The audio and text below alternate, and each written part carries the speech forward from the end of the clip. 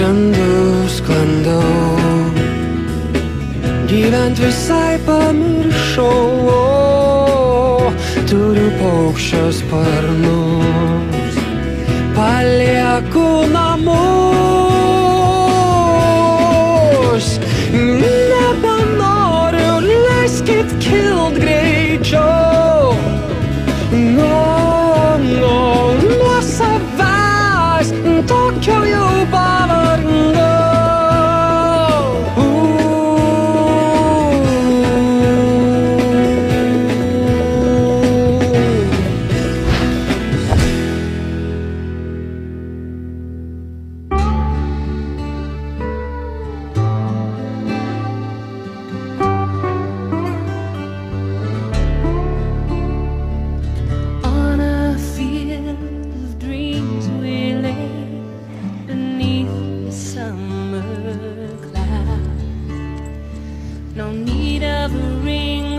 Palauk, palauk, palauk, palauk.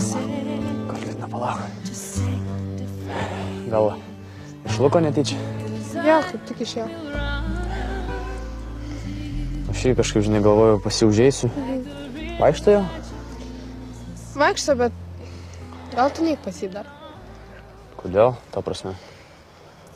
Aš buvau pas jį, jisai labai, labai susnervinęs. Ir, nu, dar, dar nelaiko šiek tiek. Nu, Bet tai tu irgi protinga, ką žinau, iš karto po operacijos žmogus, tai tu prie formulių, prie mokslų grįž nori. Tai jisai pats prašė. Tai tu jam galėtų nors tokią įdomesnę pasiūlyti. Neprikolai man galvoju vėliau. Tai pralinksmėk, nu ko tu parinė. Dėl Luko. Viskasgi bus gerai. nu. Kas ten su juo yra? Tai sakau, mes, žinai, na jau pas jį mes mokėmės, tarpsime, bandėm formulės prisimint, uždavinį spręsti. Nu, Na ir, ir nesugeba jisai, paprastą uždavinį išspręsti. Aš žinai, galvoju, vis tiek gal po traumos, gal normalu. nu tai aišku, kad normalu, kaip čia parinės. Nu tai tu jam pabandyk paaiškinti. Visas piktas ir, ir, ir šiandien man aiškino, koks yra niekas, kadangi dabar net savo proto genialus nebeturi. Ai, nu tai žinai, po tokios, žinai, sunkios operacijos, tai iš tikrųjų, nu, protas palsėjęs, reikia atsigauti truputį. Nežinau, Aš- tai Atbėgsiu aš jam, apšviesiu protą, viskas iš karto aišku pasidarys. nu jo, gal tada supras, kad draugų turėjo ne tik tada, kai žino, kiek 5 kart 5. O tai kiek tas 5x5 čia bus? O. Nešnekėk nesąmonę. Gerai, Susitiksim. iki. like I do today. I promise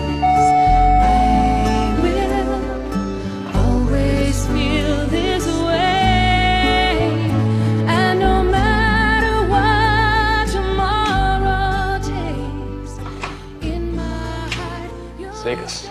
Labas. Tiek tu.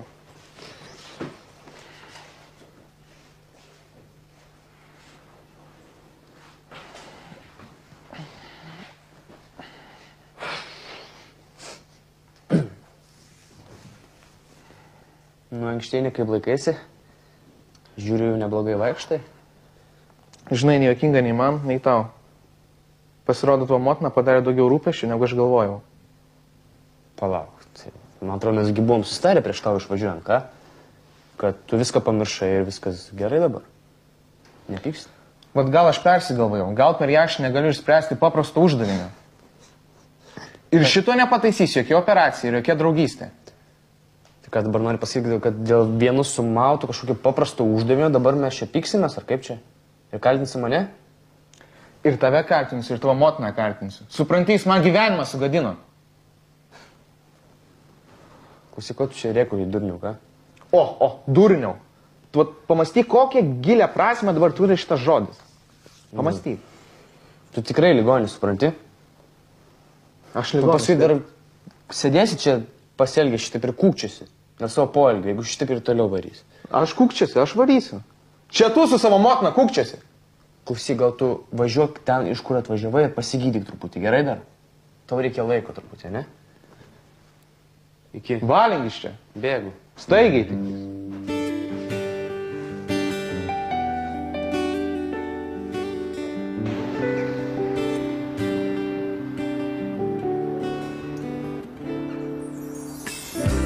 Aš vis jaučiu tą pašalą.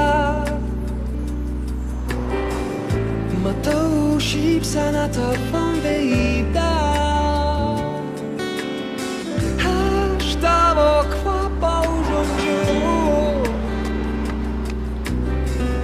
Jis pakelia mane aukščiau žvaigždžių. Ir jei tu girdi, kai tave šaukiu, pakilk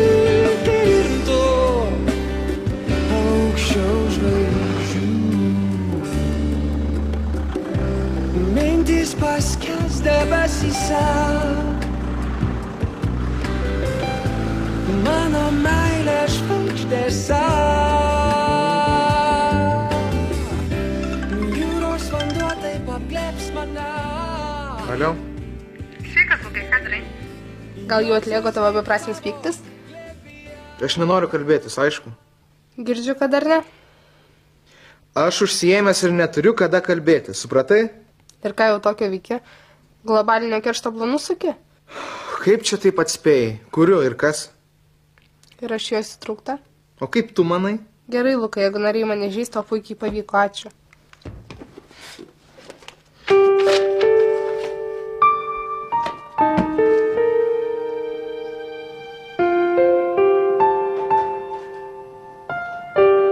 Labas, Agne. Labas, Milda. Jetau. Kaip tu laikaisi? Gerai, jau dabar daug geriau. Jaučiuosi geriau negu atrodau. Žiūrėk, aš tau tokia dalytė. Ačiū tau labai. Ačiū tau, Milda, kad rūpinės manim. O kaip aš taip nesirūpinsiu, tai mano draugė. Milda, tu atleis dėl to, kas buvo ten pas tave namuose. Na, kai tada su Eligijom taip susipykome. Baigtų, Agne. Žinau, kas jis per žmogus. Ką mes čia apie jį kalbam šis? Tu geriau pasakok. Kaip tu? Na ką, matai, guliu. Su Robertu susitaikėme. Tikrai? Na, aš manau, kitaip ir negalėjo būti. Na, juk akivaizdu, jūs vienas kitą mylite. Aš labai džiaugiuosi. Tu žinai, aš dabar pagalvoju, aš neįsivaizduoju savo gyvenimo be jo. O žinai, aš įkvėpta jūsų meilės. Parašai dainą. Na, baigtų. Nusprendžiau gyventi savo svajonę. Kokį? Tu neįsivaizduoji. Aš ryžausi. Keliausiu aplink pasaulį. Oho. Taip. Nusipirkau paskutinės minutės bilietus į Australiją iš, išvykstu. Kada? Nu, neužilgo, va, tvarkausi reikalus ir Ir palauk, o kaip tave išleis iš mokyklos? Kaip tu vidury mokslo metų? aš jau viską susitvarkiau. Išleido pusį metų. Na, aišku, nemokamų atostogų, bet Šaunuolė, tai labai iš tave džiaugiuosi. taip. Tai va, žinok, ir aš ne- nelabai turiu to laiko, atleisk, kad tave taip trumpai aplankiau. Ne, vis tiek džiugu, kad atėjai. Tai tu sveik, saugok save, o aš, aš tau atsiųsiu atviručių iš kiekvienos šalies. Gerai, labai lauksiu. Tu viską fotografuok. Ir geriau vietoje atviručių nuotraukų man atsiųsk. Gerai. Na tai iki. Iki. Sveik. Ačiū, Milda. Iki. Iki.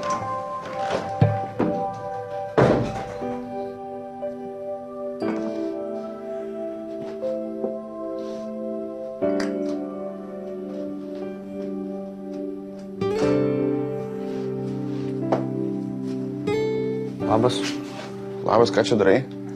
namus deginu. Smilkalai. O.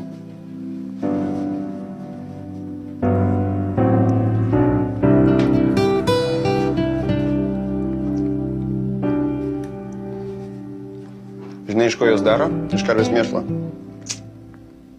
Rimtai, rimtai. Prideda visokių išdžiovina, prideda visokiausių žolelių. Geras. Taip. O tu nemanai, kad mamai gali galvas skaudėti? Nuo tų smilkalų būna žmonėm. Nieko, čia surizikuosiu. arbatos prineš padarėjai? Taip, arbatos. O ką? Nieko. Nereikia manęs šaukti. Aš tik tai paklausiu. Smagu, gerai, kad darai čia. Uh, jo. O kur mama? Mama nežinau, tuoj turėtų grįžti, aš kaip supratau.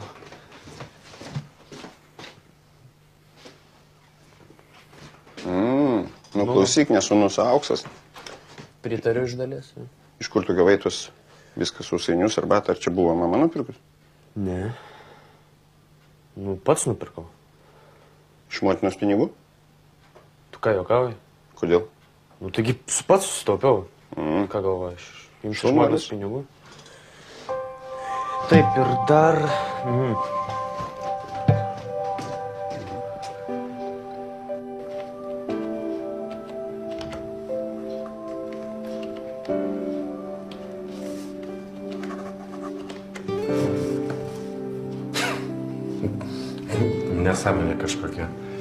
Yra daktarė? Žiūrėk, aš įvedu Agnės asmens kodą į duomenų bazę ir išmeta kažkokią tai gedvilienę. O jos netokia pavardė? Mm, Netokia. Galiu aš pamanyti? Na, pabandyk tu.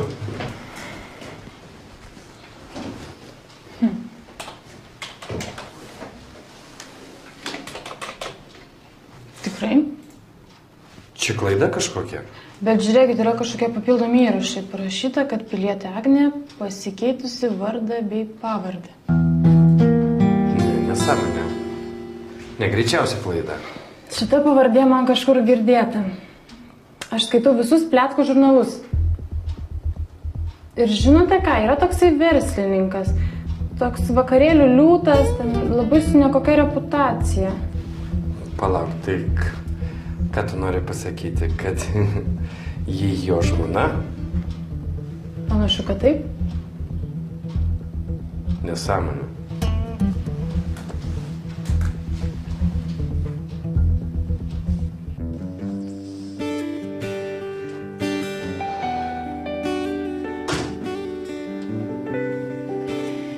Sveikas. Labas. Tu čia man? Taip, prisėsk. Ačiū. Dieve. Gal arbatos? O, o kur tėtis nėra? Namuose? Tai gal tėtį pakviečiam? Kažkaip kaip aš čia viena dabar sėdėsiu. Gerai.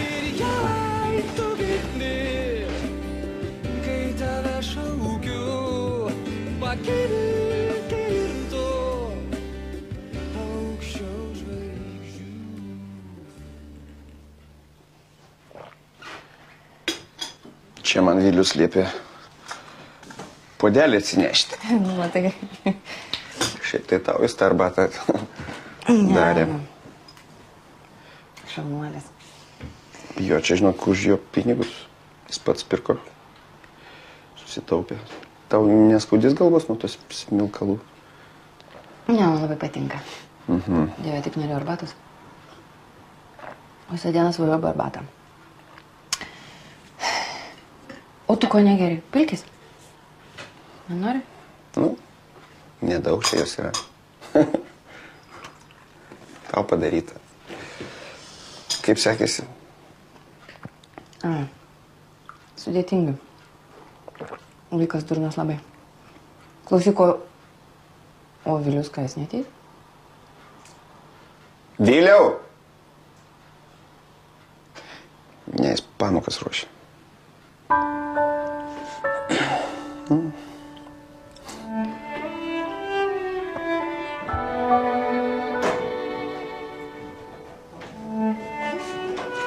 Na viskas. Pamainą baigiau. Nusivariau. Galiu prisėsti, palisėti. Prašom, gydytojų. Kaip jauties? Truputėlį geriau. Eik namo. Ką aš ten veiksiu? Ne, man ten nuobodu vienam. O, lova tuščia. Aš čia ir pernakvosiu. Robertai, baigtų. Eik namo, aš matau, kad tu pavargęs. Nesiginčyk, nesiginčyk su daktaru niekada.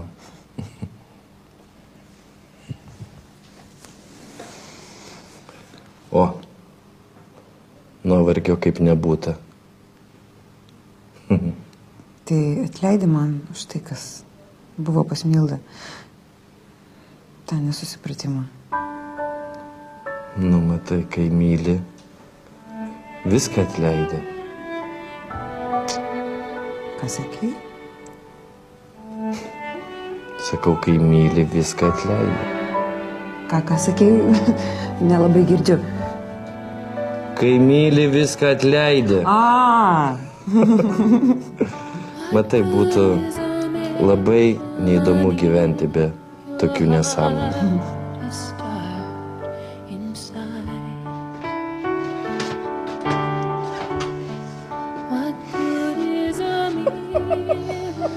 Viešpatė. Aš, nu, negal, nu, kažkaip. Ai, Kas? Nu, kažkaip man nejauku. Dėl ko? Dėl vaiko? Nu, tai. Kas čia daug? Jam klausyk, jis gimė. Nu, tai kas nemažas vaikas. Bet šiaip galėjo ir pasipelsti. Šiaulė. Tau skirtum. Nu, šiaip gal reiktų su juo pakalbėti, kad mes... bijai? Nu, ne, aš tas nebijau, bet, žinai, čia moterų nebuvo, jisai net... Nu, žinai, tas tėvas pas mane, žinai, Ne, nu, tu paklau- pakalbėk, aš paklausysiu. Celibatas. Pakalbėti, ką nors. Mhm. Nu, Pakalbėt? pakalbėk, aš paklausysiu. Jo.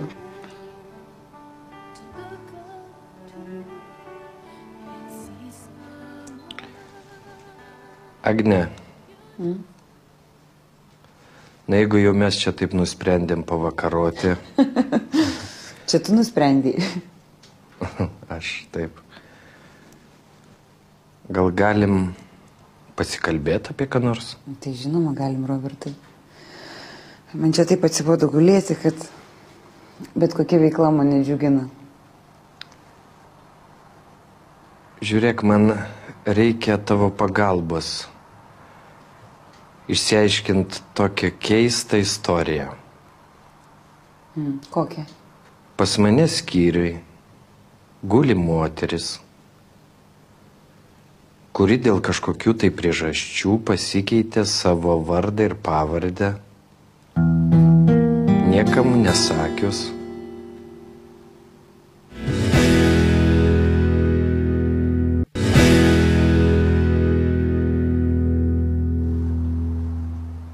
Žiūrėk, man reikia tavo pagalbos išsiaiškint tokią keistą istoriją.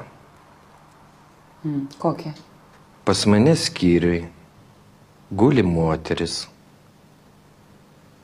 kuri dėl kažkokių tai priežasčių pasikeitė savo vardą ir pavardę, niekam nesakius. Hm. Nelabai suprantu, kam tai reikėjo daryti. Gali man paaiškinti? O iš kur tu čia tokią informaciją gavai?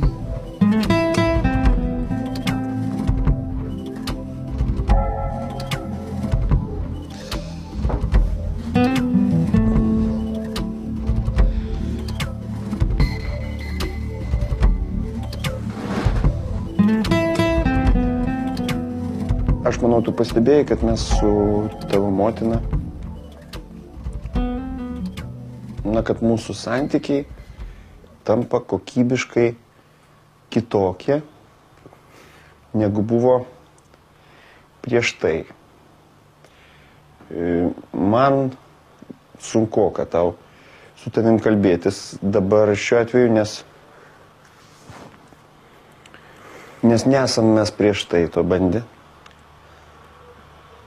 Bet tu supranti, kad...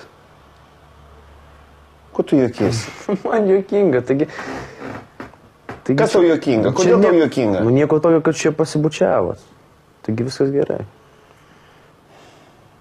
Sipučiavo, tu ko pats išbalai ten. Nu išbalau, nes nenorėjau jiems trukdyti, nelaiko atėjau. Nu, pasidarė juokinga su tavo mama. Ką aš žinau, jūs taip sureagavot ir kažkaip pasimetėt. Tai noriu to pasakyti, kad kadangi dabar gyvenam trise,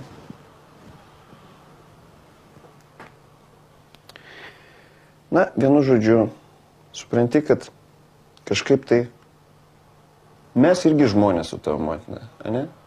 Nu, Ir kiekvienas turim savo gyvenimą. Aš nemanau, kad tai yra koks nors tragedija, tai, ne? Ar aš sakiau, kad... Aš suprantu, kad bjauru, kai du tėvas ir motina stovi ir bučiuojasi kažkodėl. Tai aš suprantu, bet Nu, mes pasistengsim taip jau nesibučiuoti, kaip Paryžiuje ant kiekvieno kampo. O tu, tikiuosi, dabar belsies visą tai užėdamas į kambarį. Okay? Gerai, gerai, super. Tai aišku, viskas. Eik. Būtinai pasibelsiu prieš įeidamas. Būtinai.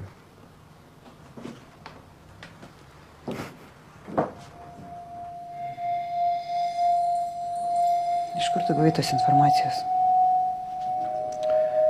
Na, matai, Agne, įla išlindo iš maišo. Atsitiktinai radau. Gali man paaiškinti?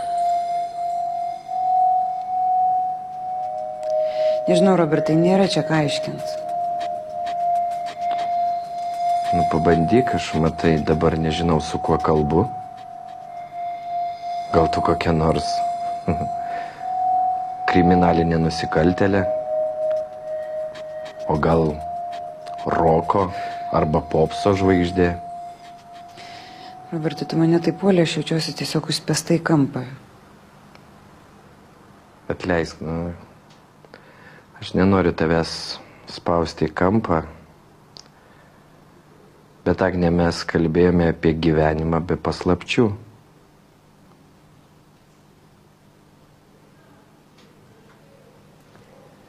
Na gerai, sėsk, aš tau papasakosiu viską.